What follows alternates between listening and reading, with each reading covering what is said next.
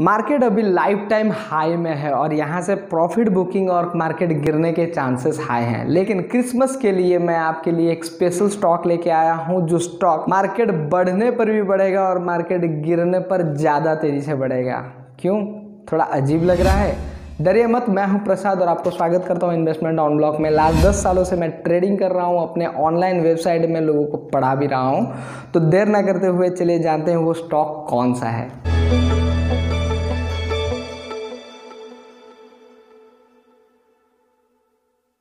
Merry Christmas आप सबको इस वीडियो में हम जानेंगे कौन सा स्टॉक है जो आने वाले समय में बहुत तेज़ी पकड़ेगा। एक ही स्टॉक बताऊँगा जिसका वीकली चार्ट में बहुत ही अच्छा पैटर्न बना है और डेली चार्ट भी कवर करेंगे। उसके बाद आखिर में मैं आपको बताऊँगा वो स्टॉक का टारगेट प्राइस कौन सा है और स्टॉप लॉस कौन सा है और बढ़कर कहाँ तक ये जा सकता है।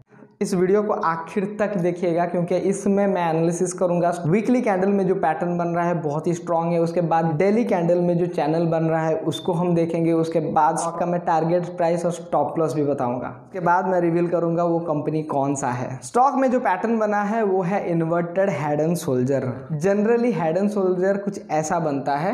पहले बना आपका शोल्डर, उसके बाद आ गया नेक लाइन उसके बाद आ गया हेड, उसके बाद आ गया फिर से नेक लाइन उसके बाद आ गया फिर से शोल्डर, उसके बाद आ गया नेक लाइन उसके बाद स्टॉक टूट जाता है। ये पैटर्न जब कभी भी एक स्टॉक में बनता है वीकली या डेली में तो मार्केट बढ़े या गिरे, ये स्टॉक बहुत ज़ोरों से गिरता है। उसी तरह इसका अगर उल्टा बन जाए, उसे बोलते हैं इन्वर्टेड हेड एंड शोल्डर ये स्टॉक के लिए बहुत ही बुलिस होता है और इस मार्केट सिनारियो के लिए ये पैटर्न जिस स्टॉक में बना है, वो बहुत ही बुलिस होने वाला है। आप पूरा क्लियरली देख पा रहे हैं, ये वीकली कैंडल चार्ट है। स्टॉक धीरे से नीचे आया, फिर ऊपर गया, फिर जोरों से तोड़ा और हेड बनाया, फिर नेकलाइन में पहुँचा, फिर शोल्डर बनाया, अभी फिर नेकलाइन में है। इस स्टॉक में यहाँ पे और दो तीन चीज़ें मैंने भी ऐड किया हुआ है। यहाँ पे जो रेड कलर का आप देख रहे हैं, रेखा, वो है 200 मूविंग एवरेज मतलब weekly candle 200 days moving average को टच किया है। मेरे वीडियो में स्ट्रैटेजीज भी शेयर किया है, वहाँ पे देखिए 200 डेज़ मूविंग एवरेज को जब कभी भी एक स्टॉक छूता है, यहाँ से प्राइस आया था, उसी तरफ़ उछल के चला जाता है। तो यहाँ पर टच करके वापस गया है और इन्वर्टेड हेड एंड शोल्डर बनाया। उसके साथ नीचे अगर देखें तो अच्छा खासा वॉल्यूम हमको मिल रहा है और नीचे मैंने मैगडी भी डाला हुआ है, जहाँ पर एक क्रॉस आप देख पा रहे हैं, यहाँ पे पूरा सिग्नल है बुलिस चलिए एनालिसिस करते हैं डेली चार्ट को। यहाँ पे देख पा रहे हैं, एक चैनल को फॉलो कर रहा है। प्राइस चैनल के अंदर ही price up and down up and down हो रहा है। लास्ट में प्राइस थोड़ा सा तोड़ा चैनल के नीचे आया, फिर यहाँ पे 50 डेज़ और 100 डेज़ मूविंग एवरेज को टच करते हुए वापस चैनल के अंदर चला गया। क्योंकि वीकली पैटर्न में जो बुलिस ट्रेंड बना है, या फिर आप बोल सकते हैं वीकली चार्ट पैटर्न बना है, उसके वजह से ये ट्रेंड फिर से वापस अंदर जा रहा है। यहाँ पे हम एक्सपेक्ट कर सकते हैं, ये ट्रेंड वापस ऐसे जाके ये चैनल को तोड़ के वापस जाएगा। इसके साथ अगर हम देखें, नीचे मैगडी में भी आप देख सकते हैं क्रॉसओवर है और यहाँ पे जो रिट्रेसमेंट हो रहा था वो रिटर्न कर रहा मैगडी में यहाँ पे क्रॉसओवर है, उसके साथ ही जैसे भी रिट्रेसमेंट हो रहा था, वो फिर से वापस जा रहा है। तो डेली कैंडल चार्ट में भी यहाँ पर एक बुलिस सिग्नल है।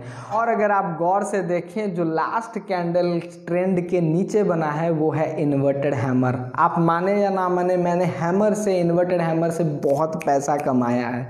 तो इन्वर्टेड हैमर एक बुलिस कैंडल स्टिक पैटर्न है। जब कभी भी ये पैटर्न ट्रेंड के नीचे या ट्रेंड के ऊपर बनता है तो यहाँ ट्रेंड को तोड़ के प्राइस को वापस भेज देता है। तो यहाँ पर और एक बुलिस सिग्नल है स्टॉक में। तो अब हमने वीकली कैंडल चार्ट को देख लिया और डेली कैंडल चार्ट को देख लिया। अभी डेली कैंडल चार्ट के हिस्ट्री को मैंने इकट्ठा किया हुआ है। यहाँ पर और एक बुलिस सिग्नल है। आप अगर देखें, यहाँ पे मैंने चैनल ड्रॉ किया हुआ है डेली चार्ट का।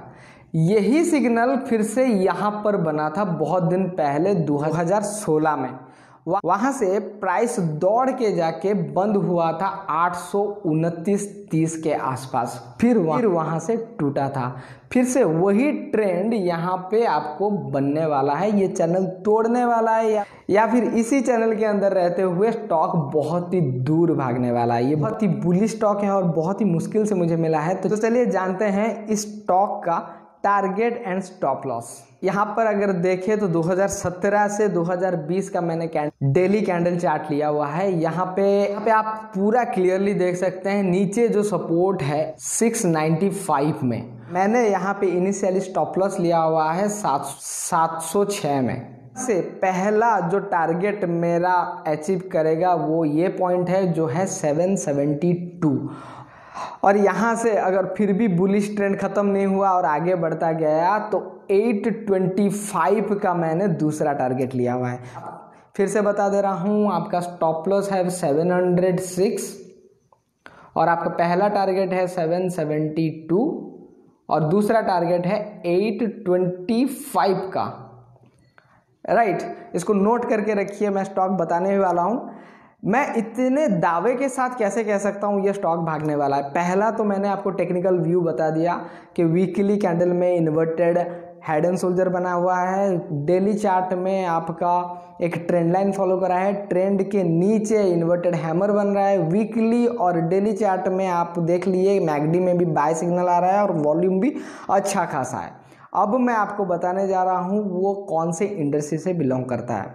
ये आपका रिटेल इंडस्ट्री से बिलोंग करता है। तो रिटेल इंडस्ट्री मार्केट से डिफरेंट है। मतलब मार्केट जब गिरता है, लोग अपने पैसे को सेव करने के लिए अपना पैसा बहुत ही स्ट्रॉन्ग सेक्टर्स में इन्वेस्ट करते हैं। तो मार्केट जब गिरता है तो लोग ज़्यादातर एफएमसीजी और रिटेल में इन्वेस्टमेंट करते हैं। उसी तरह मार्केट जब चढ़ता है तो इनमें से थोड़ा थोड़ा प्रॉफिट बुकिंग होता है। तो यहाँ पे हमारा दो सिनेरियो है। अगर हो सकता है मार्केट बढ़े तो मार्केट बढ़ता है तो ये ट्रेंड लाइन के नीचे बना है तो धीरे धीरे ये स्टॉक बढ़ता जाएगा। उसी तरह अगर मार्केट गिरा तो लोग दूसरे सेक्टर से पैसा निकाल के इस सेक्टर में डालेंगे और ये स्टॉक रिटर्न के हिसाब से दिखा रहा है, इसमें लोग इंटरेस्ट ले रहे हैं और ये बहुत जल्द भागने वाला है। तो चलिए जानते हैं अब ये स्टॉक कौन सा है।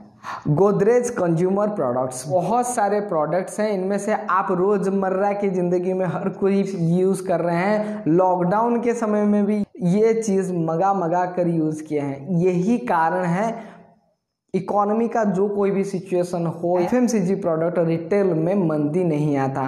तो मैंने जैसे ही वीडियो में स्टार्टिंग में बताया कि मार्केट अगर बढ़े, तब भी इसमें आप पैसा कमाएँगे और मार्केट अगर गिरे तो तब भी इसमें आप पैसा कमाएँगे।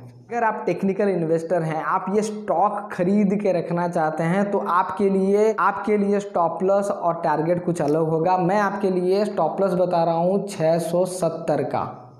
और उसी तरह मार्केट अगर गिरे या बढ़े, तब भी आप अचीव कर पाएँगे नौ सौ साठ का टारगेट तो ये बेहतरीन मौका है। आपका स्टॉक अभी ट्रेड हो रहा है तकरीबन 720 या 725 के अंदर। आप अगर खरीदते हैं स्टॉप लॉस लगाएँगे 670 में और आपका टारगेट अचीव हो सकता है 960 में। और अगर आप ट्रेडर हैं, मैंने जो पहले आपको स्टॉप लॉस और टारगेट बताया तो एक महीने से डेढ़ महीने के अंदर आप ये टारगेट अचीव कर सकते हैं। तो इन्वेस्टर के लिए जो टारगेट है स्टॉप लॉस है, इसके बीच में आप अगर टारगेट अचीव करते हैं तो तकरीबन आप थर्टी परसेंट कमा रहे हैं। तो यही है मेरा क्रिसमस स्टॉक पिक। इसको बाय करें स्टॉप लॉस लगाना ना भूलें और टारगेट का इंतज़ार करें। आप बहुत अच्छा पैसा कमाने वाले हो। Thank you very much investment on blocked